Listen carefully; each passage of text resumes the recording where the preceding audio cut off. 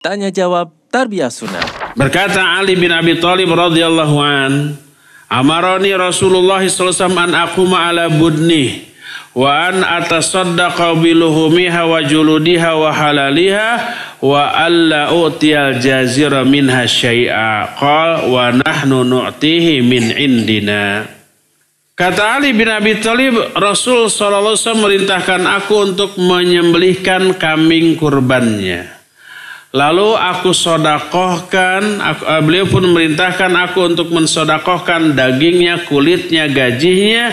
Dan beliau memerintahkan aku agar aku tidak memberi upah kepada yang menyembelih yang diambil dari kurbannya. Kata Ali, kami memberi upah dengan merogoh saku kami. Boleh nggak memberi upah kepada panitia? Boleh asal upahnya jangan diambil dari kurban. Baik kulitnya, kepalanya, cokornya, cekernya dan yang lain-lainnya. Boleh ini panitia masing-masing dikasih 20 ribu rupiah. Boleh. Atau dikasih uh, satu bungkus nasi plus 20 ribu. Boleh. Tapi semua itu tidak boleh diambil dari hewan kurban. Rugi dong jadi panitia nggak dapat apa-apa. Ya nggak rugi kalau umpah perhitungannya duniawi ya pasti ngomongnya begitu. Pertama dia dapat pahala dari Allah SWT ya. Yang kedua panitia boleh mengambil atau menerima daging kurban tapi bukan sebagai upah tapi sebagai jatah dia selaku warga ya. Jatah dia selaku warga ya.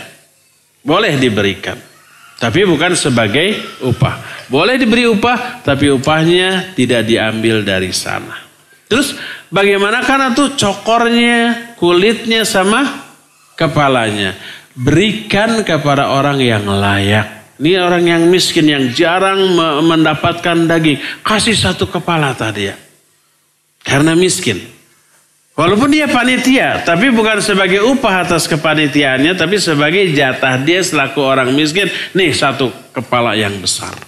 Nih kamu dapat kulit, silakan mau dijual, mau dibikin dompet, mau didorok-dok, mau diapapun terserah ya. Kalau sudah jadi milik dia, tapi nggak boleh dijualnya oleh panitia. Apalagi diambil, saya kurban tapi saya ambil lagi kulitnya lumayan. Mau buat dijual beli pulsa lagi. Ya boleh. Nabi SAW menyatakan man dahu fala udhiyatalah.